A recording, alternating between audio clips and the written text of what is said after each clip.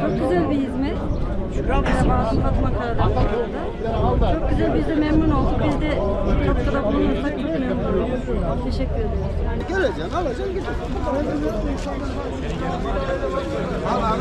Sizi tanıyabilir miyiz? Abi benim adım Hüseyin Ayvar. Ben Karacaören mahallesindenim.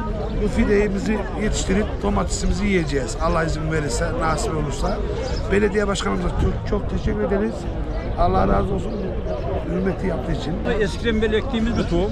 Eğer bunu alıp da yetiştirirsek gelecek için, ülkemiz için, kendimiz için güzel bir şeydir yani.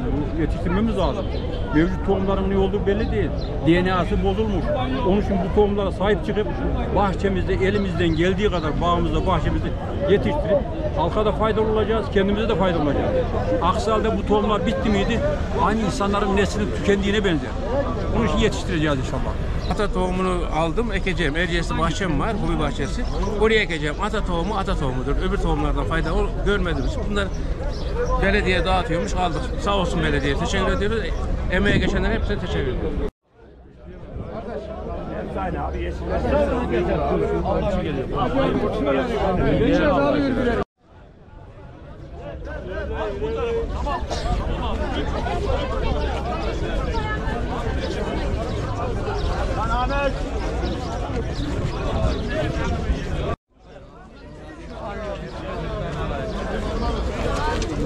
Yıldırım. Hani bunu ilk defa deneyeceğiz. İnşallah memnun oluruz. Belediye yaptığı hizmetten dolayı teşekkür ederiz. Bakacağız. Bereketli olsun. Belediye başkanımıza çok teşekkür ederim. Allah razı olsun. Size de bu şeyleri getirdiğiniz için size de teşekkür ederim. Ekecik, deneyecek. Sonrasında ama bunları muhafaza edip bunları çoğaltmamız gerekiyor biliyorsunuz Tabii değil tabii. mi? Tamam oldu. Sağ ol. Teşekkür ederim. Çok teşekkür ederim. Bereketli olsun. Sağ ol. Allah razı olsun.